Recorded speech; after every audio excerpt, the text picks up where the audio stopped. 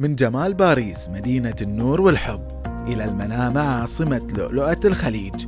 ألقى الكاتب إبراهيم بشمي محاضرة بعنوان المنامة شانزليزيه الخليج. هذه الكتاب آه، هو الطبعة الثانية للمنامة شانزليزيه الخليج. الطبعة الأولى طبعتها مؤسسة الأيام. 1994 الكتاب يتناول الحياة الاجتماعية والمطعمية في ذيك الفترة.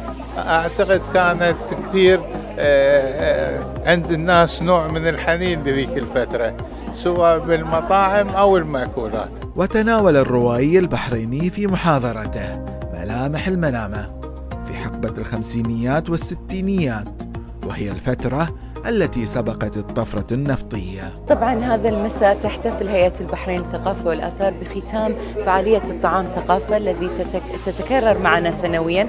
هذه السنة الخامسة وطبعا آه، على هامش آه، هذه الفعالية المميزة نستضيف الأدباء والكتاب المعنيين بذاكرة الطعام في مملكة البحرين.